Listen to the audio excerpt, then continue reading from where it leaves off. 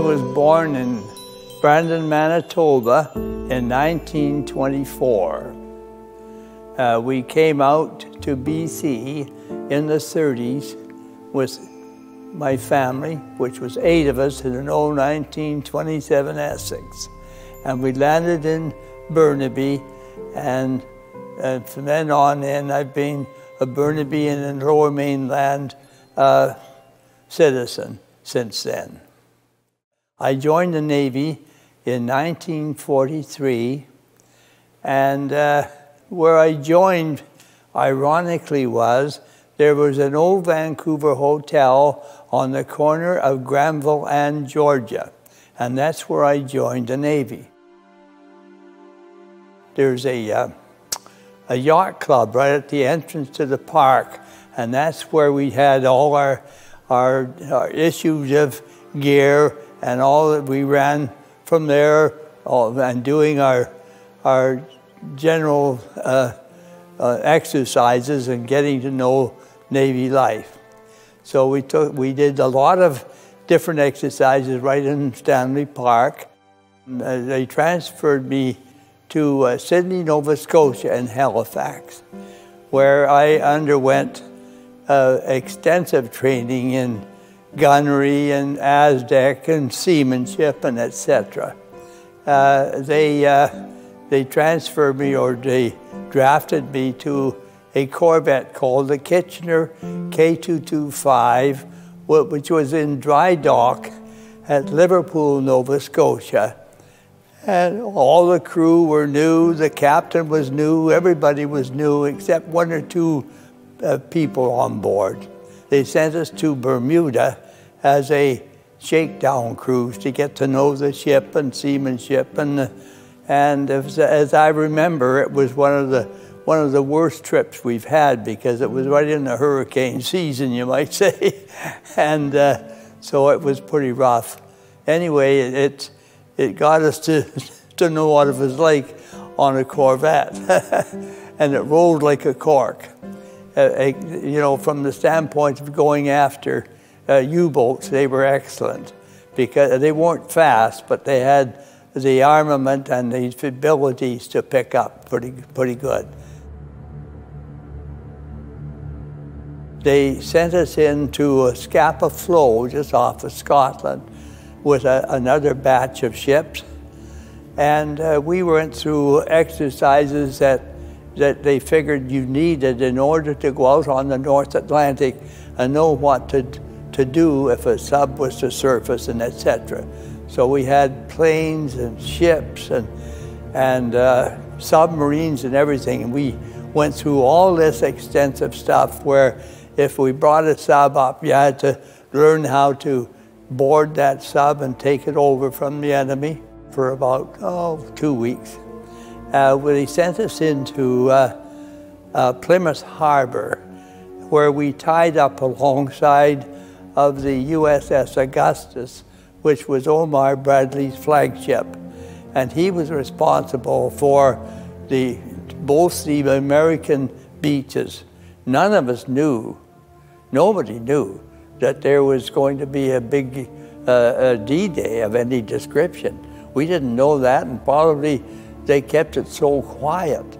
They, they did all kinds of dubious things to uh, fool the Germans.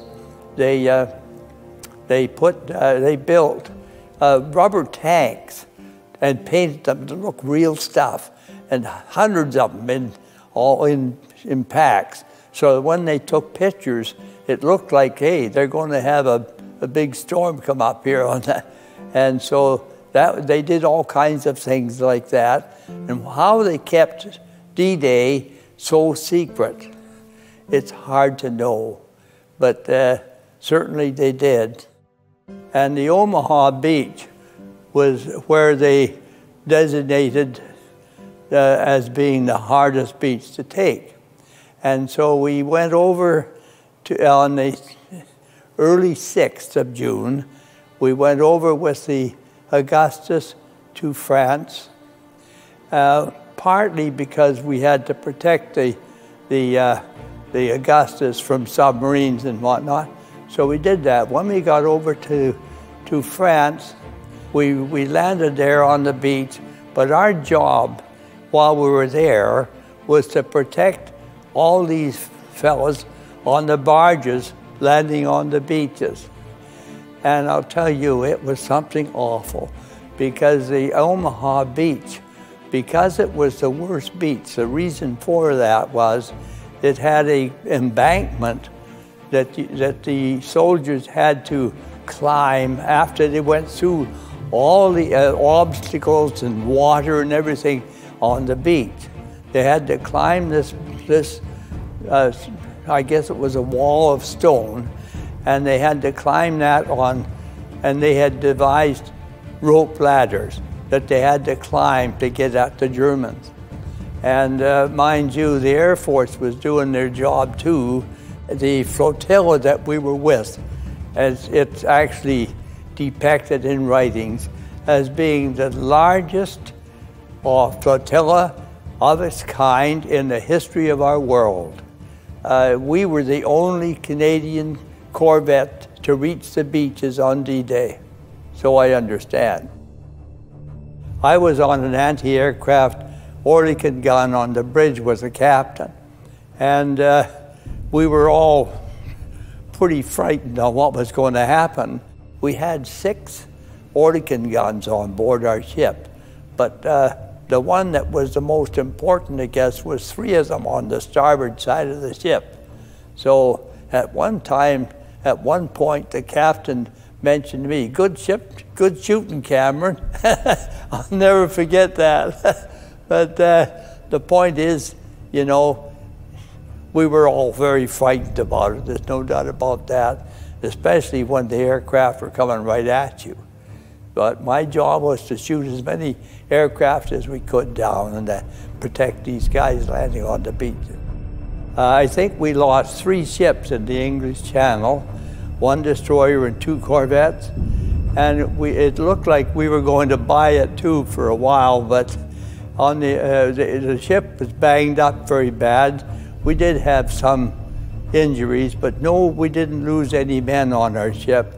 And I think that one reason why we came through that, our captain was very, very good at maneuvering our ship so that they couldn't really get a bead on us properly. Although when those German planes were coming at you, uh, that, that was scary, believe me.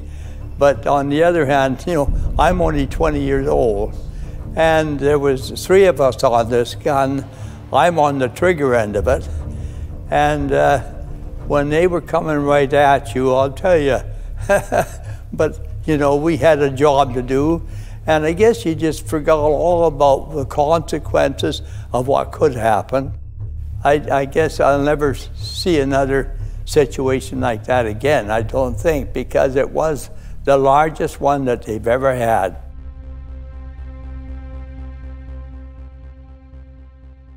But anyhow, after we spent, oh, probably 10 hours on the beach, and uh, they decided that they'd already they had taken the beach away from the Germans. I guess they directed uh, Omar Bradley back to England, so we left with the with the cruiser and protected it on the channel. You see, in the channel, the Germans had full control of all their shipping until they ran out of ammunition and whatnot but for quite some time they were still quite active in the channel, even though they, they were working their way as best they could, the soldiers back into Paris. So we had to run from Milford Haven, Wales, which was our headquarters. We ran from there all the way up to, to the English coast on different trips protecting ships. And uh, from till the end of the war, and then, of course, at the end of the war, we, I think we were the first Canadian ship that Milford Haven ever saw, sailors wise.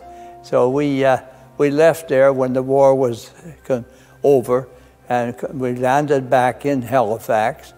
Then there was a handful of us that were designated to help take the ship up to Sorel, Quebec, where they uh, ushered all the ships that were being decommissioned.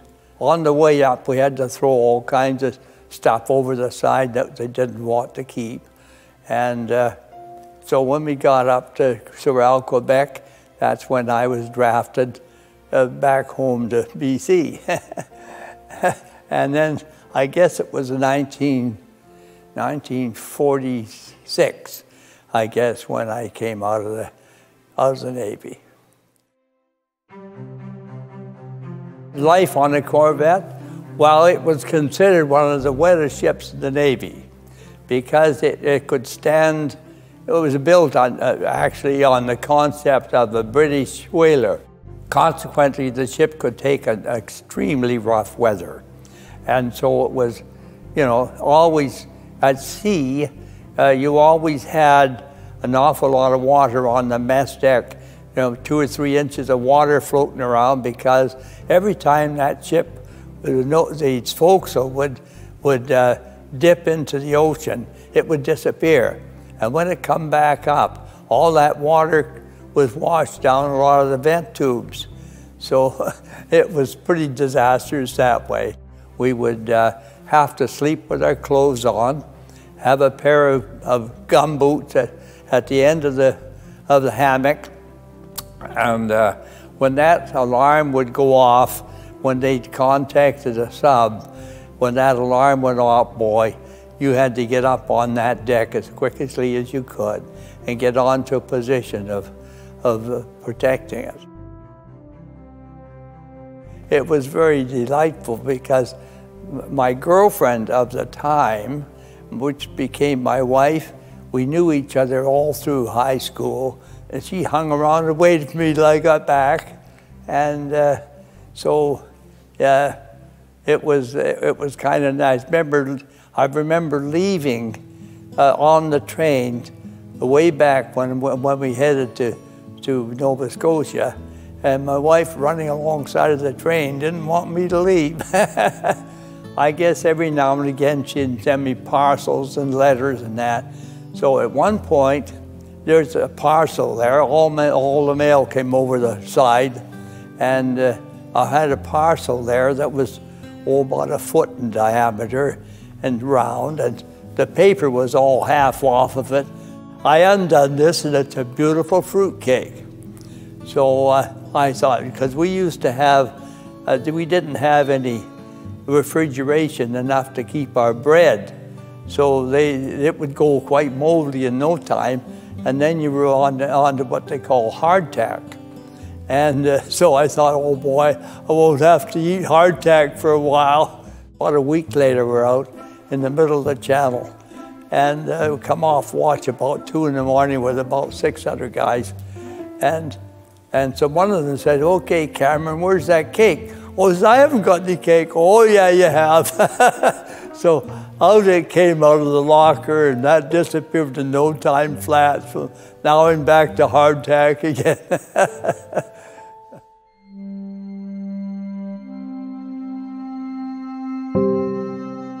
like at Juno Beach, they really, that was first class. What they did there was excellent. But you know, the thing is, when you say, What I want to be remembered for? Well, I look at it this way. You know, uh, at my age, to think back that I went through this hectic time and came out of it alive, it, it's something to be very thankful for. And uh, so, you know, that's, that's how I would like future generations to think of of myself as being very appreciative to be able to come back home after all that and still stand.